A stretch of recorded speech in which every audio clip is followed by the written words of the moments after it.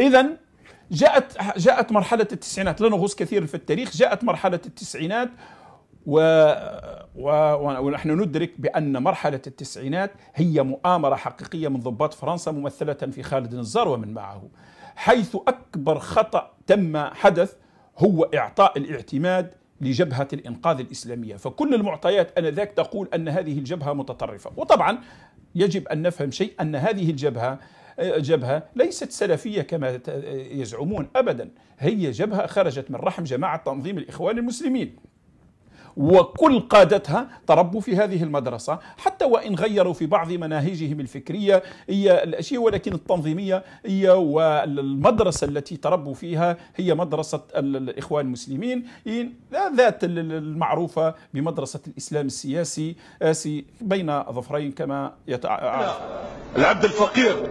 الذي كان يقود تنظيما عرف باسم الإسلام الإنقاذ تربيتي تكويني أخلاقي نشاطي حياتي الدعوية كلها كانت في إطار الإخوان المسلمين. كان أكبر انتقام قدمه خالد نزار وجماعته من الجيش الوطني الشعبي هو إعطاء منح الاعتماد لجبهة الإنقاذ. وعلى مدار من سنة 1989 لما منحت جبهة الإنقاذ الاعتماد إلى غاية 91 على مدار عامين والجبهة تحقن الشارع وتزرع التكفير والتحريض إلى أبعد حدود. وفتح لها المجال. وكان المهيمن في تلك الفترة هو خالد نزار على الحكم فتركهم وبعد ذلك عالج الخطأ بخطأ أقذر بمعنى الكلمة وهو الانقلاب. ترك الشعب ينتخب. ونحن بغض النظر على ما قيل في تلك الانتخابات ولكن العالم في ذلك الوقت شهد لها أنها انتخابات نزيهة. ونزيهة أدت في ظل الحشد العاطفي في ظل الاحتقان في ظل الكراهية المتزايدة تجاه السلطة. الجزائريون في أغلبهم فيهم بعد عاطفي كبير خاصة إذا وجد من يلعب له على الأوتار أوتار التاريخ أوتار الدين أوتار الوطنية الجزائري عاطفي إلى حد كبير.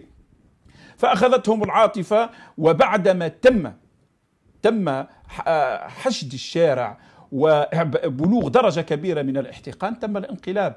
الانقلاب. فدفعوا الناس إلى الشوارع وبعد ذلك دفعوهم إلى الجبال وحملوا السلاح وتمت هذا وهذه وتم تشكيل جماعات. هناك من سمى شكل الجماعة الإسلامية المسلحة وهناك الحركة الإسلامية المسلحة وهناك من شكل الجيش الإسلامي للإنقاذ آه في نظره كي يكون كبديل للمؤسسة العسكرية وحوربت المؤسسة العسكرية ولم يجد وزج خالد نزار ومن معه المؤسسة العسكرية في حرب. كان خسرت فيه المؤسسة العسكرية الكثير.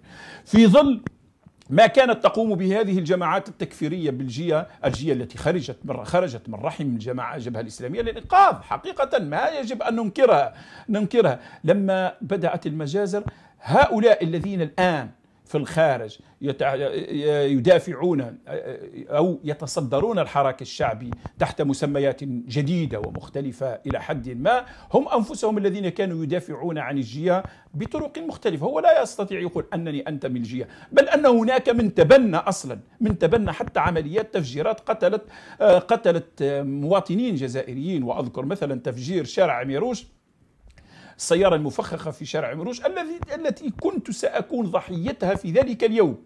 على دقائق أنا كنت في ساحة الأمير ونازل رايح على عميروش حدث الانفجار وأنا في ساحة الأمير. لو بقي يعني تأخر شوي الانفجار لكنت أحد ضحايا ذلك. الانفجار تبناه تبناه أحد أن من المفروض نائب تم انتخابه في برلمان الفيس من الخارج وبعد ذلك تم اعتقاله وكذا واليوم يتبجح ويتغنى بالدولة المدنية والحل السياسي السلمي وما إلى ذلك تحت أقنعة جديدة. المهم المهم هذا هذا فتم في ذلك الوقت تم نسج فكرة من يقتل من. فجاءت هنا جابوا أشخاص نعرفوهم بينهم حتى اللي كانوا معي في السجن في السجن العسكري آه، كانوا تم لما جاءوا إلى فرنسا تم استعمالهم على أساس أنه شاهدي عيان على مجازر كان يرتكبها الجيش وكذا وكذا وكذا. وعندما أقول هذا الكلام لا يعني أنه لم تحدث تجاوزات من طرف العسكريين أبدا حدثت تجاوزات وكنت شاهد على تجاوزات لكنها حدثت قام بها أفراد وبينهم الكثير من تم سجنهم ومعاقبتهم وأنا لما سجنت في المؤسسة العسكرية تم سجني بتهمة بتهمة الكتابات غير المرخصة والتحريض تحريض سياسي وكذا وكذا على كل حال ليس له علاقة بالإرهاب حتى نكون على بينة. قضية أني كنت نكتب في الصحافة الصحافة بدون ترخيص. المهم فلما سجنت وجدت الكثير من الضباط تورطوا في مثل هذه القضايا موجودين في السجون.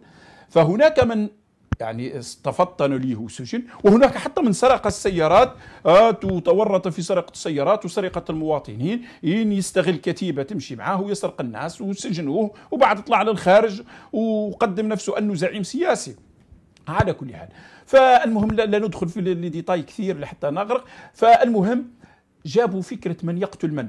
وراحوا يشككون بأن هذه ويبرئون الجيا وفي مجزرة بن طلحة ومجزرة الرايس وتم استغلال ناس جاوا لهنا ظروف يعلم بها غير ربي. كما حاولوا استغلالي أنا شخصيا لما جيت على فرنسا. أول مرة فأرادوا أن يستغلوني ضد المؤسسة العسكرية وهو ما رفضته. لما وجدت أنهم يريدون فقط استعمال قصتي وأنهم يحبكوا السيناريو وفق بناء على الأماكن اللي عملت فيها وينسبوا أشياء للمؤسسة العسكرية على لساني وهو الذي رفضته. وهذا العرض لم يأتيني من فرنسيين أو كما يظن البعض بل آتاني من طرف أشخاص هم الآن يتصدرون الحراك الشعبي تحت مسمى تغيير في الجزائر وإصلاح الشعب إصلاح الدولة الجزائرية.